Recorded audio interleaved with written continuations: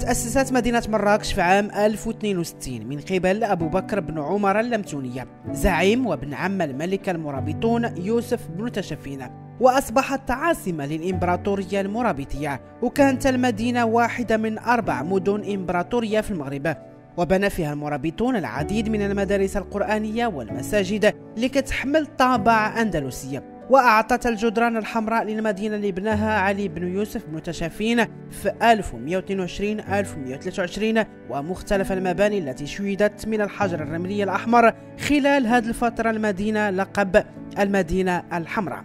وكتختلف الروايات في تفسير الاسم ديالها فالبعض كيقول أن مراكش هي كلمة أمازيغية كتعني مر بسرعة والبعض الآخر كيقولوا أن أمور نعكوش اللي كتعني بالأمازيغية أرض الله. واقترنت مدينة مراكش باسم سبعة رجال حيث أصبحت أضرحتهم تشكل معلمات تاريخية تتميز بها المدينة.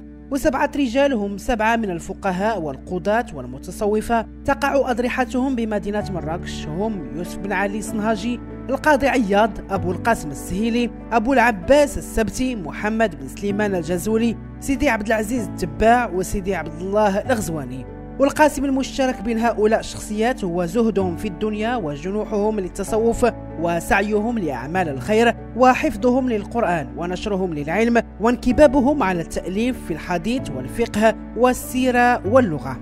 ومن المعالم التاريخية للمدينة الحمراء أسوار مراكش اللي كتقدر الطول ديالها بتسعود ديال الكيلومترات.